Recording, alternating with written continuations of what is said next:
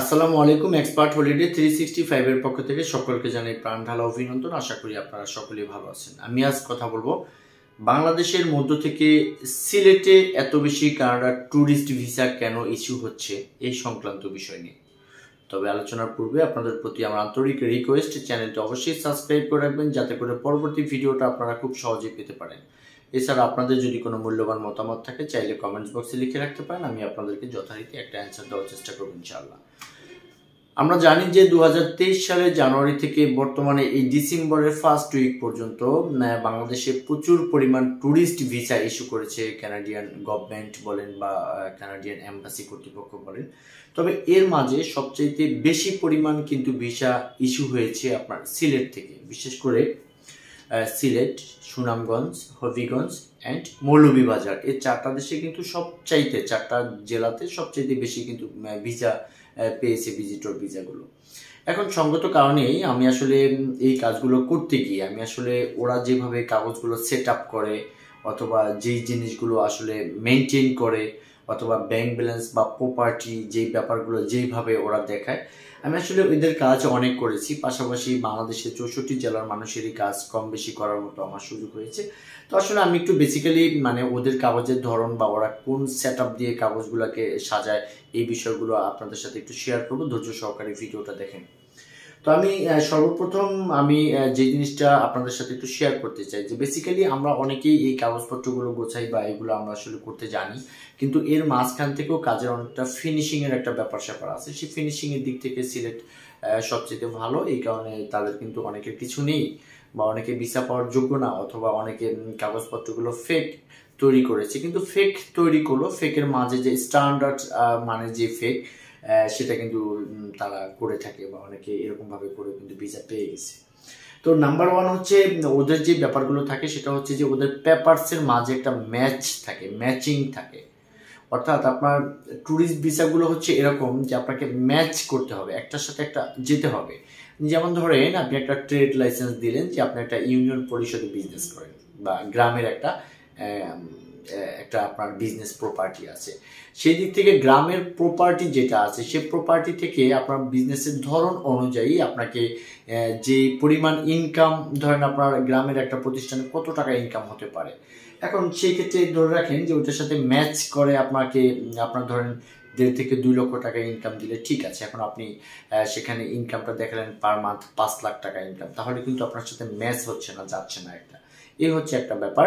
এই জিনিসগুলো সিলেক্ট যারা আছে, তারা খুব সেন্সিটিভভাবে চিন্তা করে করে যে কোন বিজনেসের সাথে কত ইনকাম বা কোন লাইসেন্সের সাথে কত ইনকামটা যায়।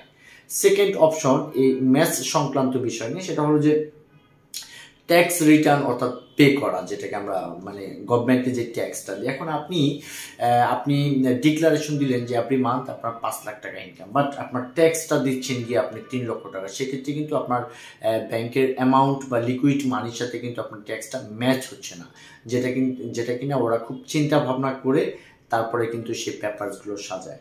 তারপর হলো আপনি যে বিজনেস প্রপার্টি মানে কি বলা হয়, আপনি কন্ট্রোল করেন বা যে বিজনেসটা আপনার আসে আছে। এর পাশাপাশি কিন্তু আরও মানুষের বেশ কিছু অর্গানাইজেশনের সাথে মানুষ সম্পৃক্ত থাকে। যেমন ধরেন চেম্বার অফ কমার্সের সদস্য আপনি হতে পারেন। যেটা কিনা সিলেটের ম্যাক্সিমাম ফাইলে আমি এই জিনিসগুলো দেখি সবসময় যে চেম্বার অফ কমার্সে তারা আসলে সদস্য হয়ে আছে। পাশাপাশি আপনার সামাজিক কর্মকাণ্ডের যে সার্টিফিকেটগুলো থাকে হিউম্যান রাইটস বা এই লেভেলের তারা কিন্তু এটাও সাবমিট করে। অর্থাৎ আপনার নিজের সোশ্যাল টাইজটাকে বৃদ্ধি করার জন্য। তারপরে ওদের এই ফাইলগুলোতে আমি আরেকটা জিনিস দেখি, সেটা হচ্ছে যে আপনারা ধরেন একটা অ্যাসেট ভ্যালুয়েশন যেটা করেন, সেই ভ্যালুয়েশনটাতে এরকম যে আপনার অ্যাসেট ভ্যালুয়েশনে আপনি লিখে দেন যে আপনার এভরি মান্থ রেন্ট এত টাকা আপনি পাচ্ছেন। কিন্তু এই রেন্টের যে পে স্লিপগুলো অর্থাৎ যাদের কাছ থেকে আপনার রেন্টটা পাচ্ছেন, এটা কিন্তু আপনারা, আমরা অনেকেই দেই না। কিন্তু সিলেট থেকে যে ফাইলগুলো আমাদের কাছে আসে, আমি কিন্তু ম্যাক্সিমাম সময়তে দেখি যে তারা প্রত্যেকটা জিনিস ডিটেলস যে আপনার এই যে যে জমি, জমির খতিয়ান থাকবে এই যে যে আপনার কোথাও থেকে আপনার এভরি মান্থ ইনকাম সেটা ডিটেলসটা থাকবে, এরকমভাবে ওরা আসলে ফাইলটাকে সাজায়।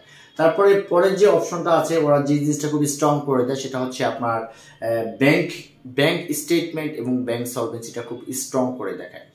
যেমন ধরেন আপনি যদি একা ভিজিট করতে চান, সেক্ষেত্রে আমরা অনেক সময় দেখি যে অনেকে পনেরো লাখ, কুড়ি লাখ এরকম একটা অ্যামাউন্ট খরচ মানে দেখিয়ে কিন্তু অ্যাপ্লাই করে। কিন্তু সিলেট যারা এই ফাইলগুলো বা ভিসাগুলো পেয়েছে, তাদের সম্পর্কে আমি অবজার্ভ করতে গিয়ে বা যতটুকু দেখলাম যে এরা মিনিমাম সিঙ্গেল দাঁড়াল thirty five forty five fifty five বা সিক্সটি সেভেন্টি লাখ টাকা পর্যন্ত তারা কিন্তু দেখায়।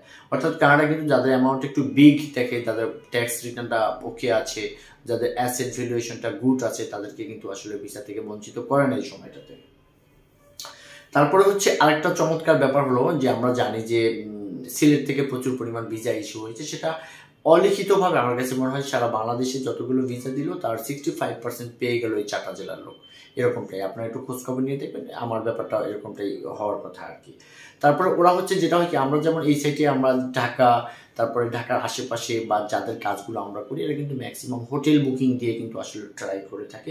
হোটেল বুকিংয়ে যে ভিসা হচ্ছে না, আমি কিন্তু তা বলছি না। হোটেল বুকিংও কিন্তু সুন্দর পরিমাণ ভিসা হচ্ছে। বাট সিলেক্ট যারা অ্যাপ্লাই করে, এরা কিন্তু ম্যাক্সিমাম কিন্তু আপনার ইনভাইটেশন অ্যাড করে কিন্তু আসলে আপনার ফাইলটাতে কিন্তু আসলে অ্যাপ্লাই করে থাকে বা অ্যাপ্লাই করে।